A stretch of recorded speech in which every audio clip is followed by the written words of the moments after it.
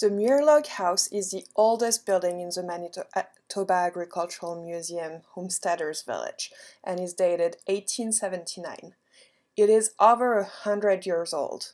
It is a great example of a house built by homesteaders. They were people that settled to Manitoba that came here um, to farm the land in exchange for a parcel. The Muir family came from Quebec and settled in the MacGregor area, not too far from the museum. And when they arrived, they first lived in a wagon box covered with a tent before they built this elm log cabin. Can you guess why they would use wood to make their houses?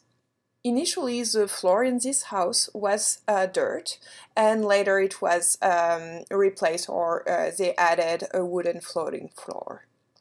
The house is furnished still today with furniture dated from the 1860s to the 1900s, and uh, it shows some of the objects that were needed for everyday life in pioneer times that we might not use as much today.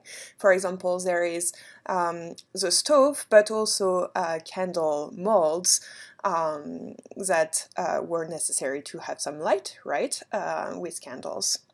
The Muirs raised a family of five children in the house, and when you come to the museum to visit the house, you can check in which rooms they might have slept.